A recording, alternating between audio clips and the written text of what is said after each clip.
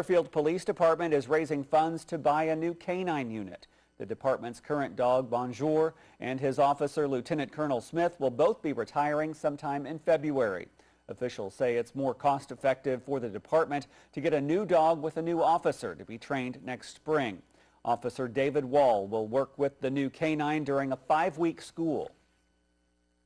I'll be working one-on-one with the canine. It'll be a dual-purpose canine, be able to detect narcotics, also tracking for people, and then also defense. Our funding for our canines made up 100% of donations through the city and all the local businesses. I've been kind of going around all week this week to get as much money as we can get raised. We're hoping our goal at the minimum is to raise $12,000. That'll cover the cost of the canine and the schooling. We'd like to get $20,000 or more just to help get new equipment updated for the new canine.